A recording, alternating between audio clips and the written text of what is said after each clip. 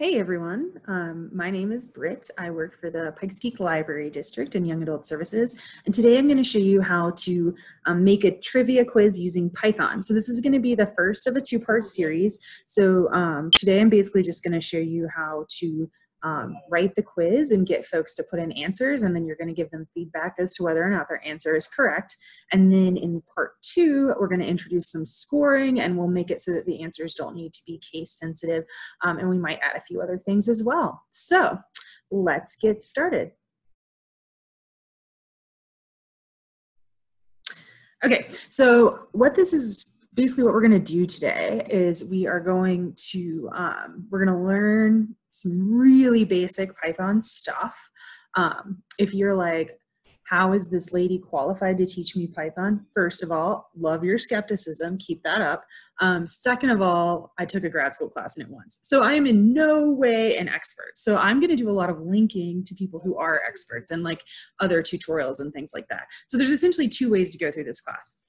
You can just follow along with me, write your scripts. It's going to be great. You're maybe not going to like absorb as much about the concepts as, as you would if you go through those tutorials that I post.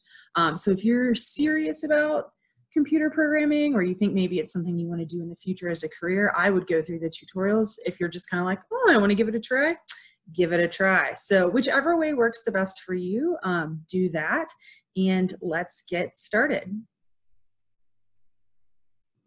Okay, so before you do anything else, what you're gonna wanna do is you're gonna wanna like download Python, right? So that you can actually use it. So um, I've got a link in the description um, to where you can go to download Python. So go ahead and do that.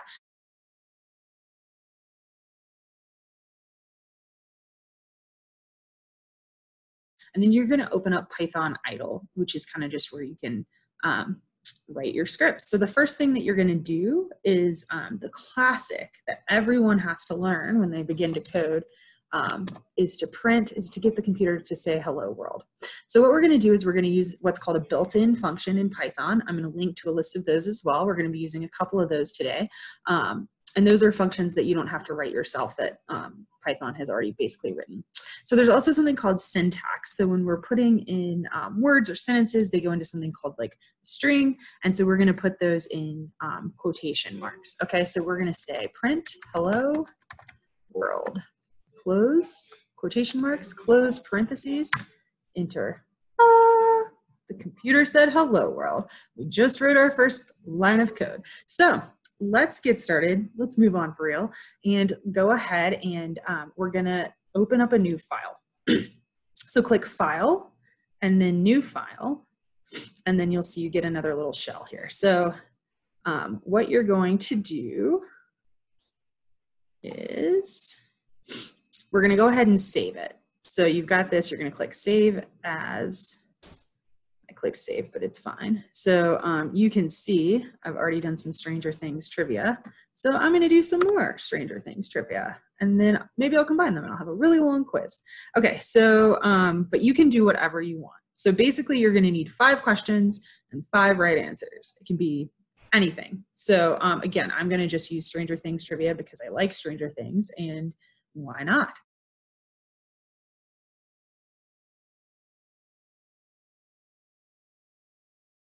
So now we're actually going to build our quiz. so the first thing that we need to do um, is create a variable. And the variable is going to be our, um, it's going to hold our answer. So variables are essentially just kind of empty containers that you can fill up with information. Um, again, I'm going to link to a tutorial that explains what a variable is. So our first variable is going to be the answer to the first question that we're asking. Um, so I'm going to name it simply answer one. Um, when you're using variables, you can use, you know, it could be a number of different things. Like it could be my answer. You do want to use camel case, which you can see the lowercase m and the capital, because um, you could say my answer one or my answer one. You can use a, um, a mixture of numbers and letters, and you can also use underscore you know, so you could put your name, whatever, right? Um, I tend to, for a project like this, um, with five questions, answer one, answer two, answer three, answer four, answer five will be fine. Um, but if you want to get creative with your variable naming, far be it from me to stop you. So we're going to say answer one, and that's going to be my variable. Again, you can name yours whatever you want, is going to be equal to, sorry, we'll use two equal signs here in a minute Um, and we're gonna, what we're gonna do is we're gonna fill the variable with the person taking your quiz's answer. So we're gonna use another one of those built-in functions. This one's called input. Um, and so we're, again, we're gonna start another string with quotation marks and we'll say, what did Dustin name the polywog? And then we're going to put polywog in quotes, but you'll notice I'm using single quotes because if I was using actual quotes, I'll show you what would happen. You can do that with the single and the actual quote. But yeah, and when you use the uh, actual quote and then um, it will, because those were in quotes, then you see it's closed out. So that's kind of why we want to do that. So what did Dustin name the polywog um, that he found in the trash? Okay. And then, so you'll leave that. And then I would go ahead and go to run, run module, make sure you've got it. Um, so you won't be able to see me testing um, essentially the way the screencasting software that I'm using works. You won't be able to see me testing it. Um, but what I would have you do is print the variable so that you can make sure that it works. And then when you test it, um, you'll kind of see. So I'll show you this one time and then I'm going to want you, um, the other times when I'm referring to testing, this is what I'm referring to. So essentially, there is an issue, then we can go in and, and debug it. And debugging is what you call fixing scripts, basically. All right, so we are gonna say run module again, which saves it. And then let me show you what I am seeing. Okay, so um, here we go. Now it's running again. You can see I've been playing around a little bit more, um, but I'm gonna try to type in an answer. Um, it doesn't need to be right or wrong. We're just basically when you say print and then we say answer one, it will show, it will essentially show us that the input function is working and that variable one has become our, um, the answer that they put in has become kind of the variable. Okay.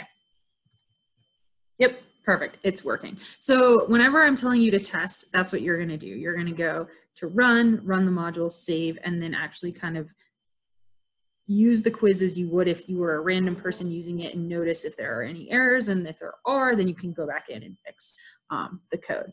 Now we're gonna build the rest of the quiz. So um, we have tested that and it looked good. So now what we're gonna do is we're gonna give the user feedback as to whether or not their answer was correct or not. So we're going to use something called um, if statements, if else statements, which are a um, condi conditional logic statement.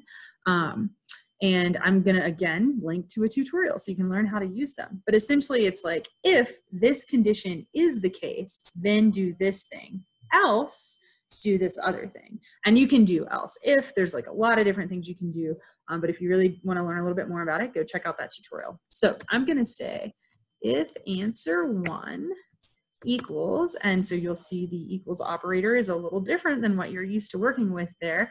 Um, so I will link again to the, the Python operators so you get an idea of what those are. For example, you know, sometimes it's not equal to or um, whatever. So um, they're a little different than probably what you're used to working with in math. So I am gonna go ahead and um, link to those as well. So, but we're just gonna be using equals today. So nice and simple. So if the answer one equals Dart, because that is the correct answer.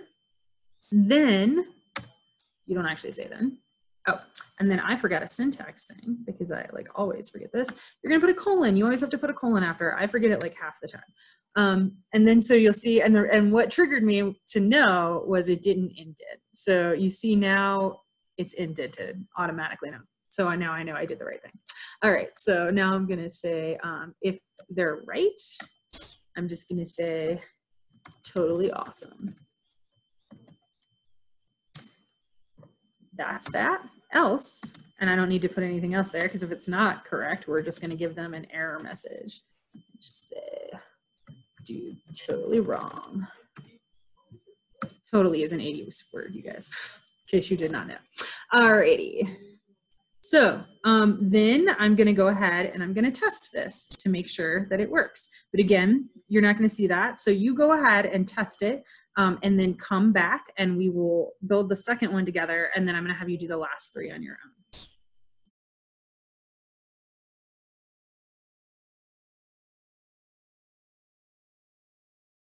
So another kind of trick for organizing, and our, we're not really writing code that's long enough to really justify this, but it is a good thing to get in the habit of doing. Um, you can do something called commenting, and that's where you put in a hashtag. So if you have a hashtag, then um, in front of something, then as because essentially like the computer processes it from right to left and kind of goes from top to bottom. So if you have a hashtag, it just won't process anything the rest of that line. So we're going to say hashtag, um, and that's why it's in red. So we're going to say hashtag question one because this is just a way to organize it so that we can look at it a lot easier. So maybe like, let's say um, you're not testing as you go along. And then all of a sudden, you know, when you're testing, um, when you go back and you finish the whole thing and you're putting in answers, you notice there's something horribly wrong with question two. Well, this way you can really easily go back and find just the hashtag that says question two instead of trying to read lines and lines and lines and lines of script.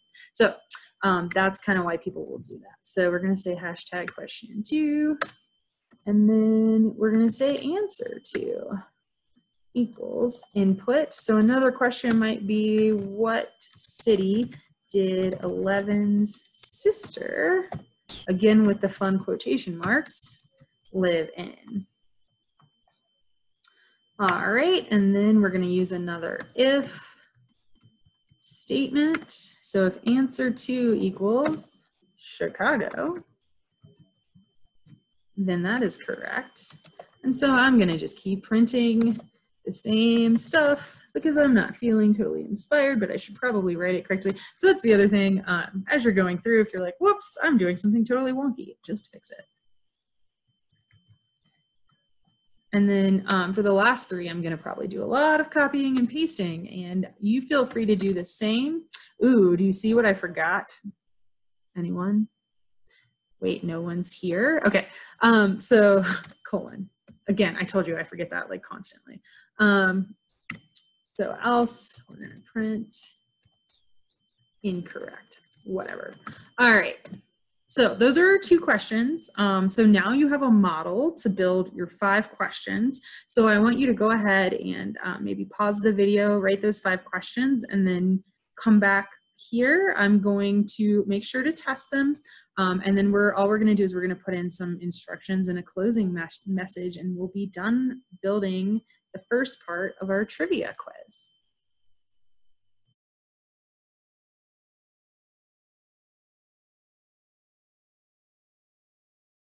So hopefully you found it fairly simple to um, follow that format and write your other three or more questions.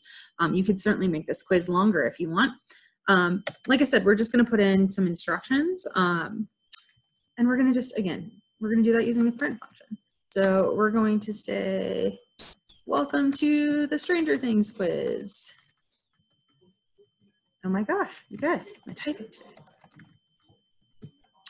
Um, make sure to use proper nouns in your answers. I don't know if you noticed this when you were testing, but if you didn't type in exactly what you would put in for the variable, you got an incorrect answer. Even if the answer itself was correct, it was just in lowercase. Um, this is case sensitive. There's a way to make it not case sensitive, and that's what we're gonna learn in part two. That's one of the things we're gonna learn in part two. So, okay, cool. So now they have instructions, so they know what this is about. And then I'm just gonna print a thanks for playing. Bye. And then another sort of built-in function that you can use is just exit, and then it will exit the program for you. So that's it for today. Go ahead and save it and run it and try it yourself, um, debug it.